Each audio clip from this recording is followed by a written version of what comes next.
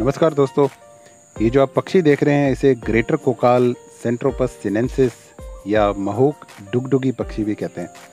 दोस्तों, ये अपने घरों के आसपास, अपने गार्डन्स में, जंगलों में पेड़ पौधों पर अटखेलियाँ करते हुए इस पक्षी को देखा होगा। ये बड़ा ही शर्मीला पक्षी है दोस्तों। कौए जैसा दिखता है। पूँछ इसकी लंबी सी है कौए जैसी। और इसके कॉपर ब्राउन पंख हैं, जो बहुत ही खूबसूरत लगते हैं दोस्तों। और जो इसके सिर और गर्दन पे बाल हैं, ये ब्लैक और इनके ऊपर पर्पल ह्यू सी बनी हुई नज़र आती है। बहुत ही ज़बरदस्त इसकी चोंच है और इसकी जो आँखें हैं, आप अगर इसका कलर देखेंगे, वो बिल्कुल रूबी रेड है दोस्तों। ऐसा लगता है जिस तरह से कोई गुलाबी लाल सा हीरा जड़ दिया हो आँखों में। बहुत ही प्यारा पक्षी है दोस्तों। ये कोई बहुत अच्छा फ्लायर नहीं होता, लंबी दूरी तक उड़ता नहीं। और इसी तरह से आपको झाड़ियों में, जंगलों में नीचे नीचे घूमता हुआ दिख जाएगा।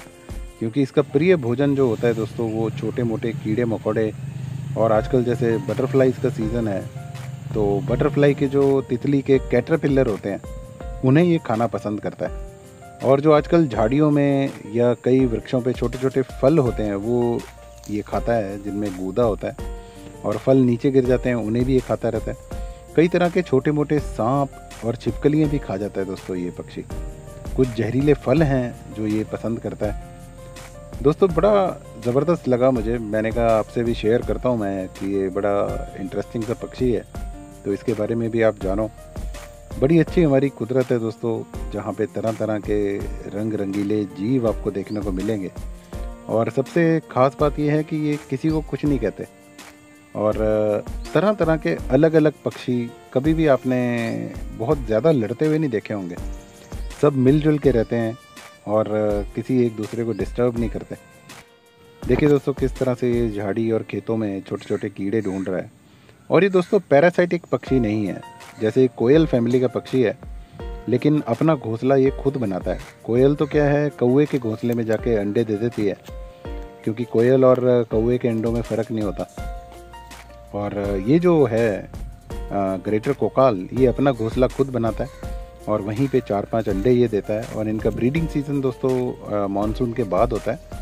तो उस टाइम इनके घोंसले वगैरह बन जाते हैं और बच्चे हो जाते हैं।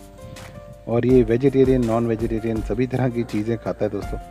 और किसी ज़माने में इस पक्षी का मीट कहते हैं, जो ट्यूबर वाले पेशेंट थे टीबी वाले, उनके लिए स्वास्थ्यवर्धक माना जाता था। ये देखिए तितलियाँ हैं। लेकिन इसका मीट कोई खाने में इतना स्वाद नहीं होता है दोस्तों।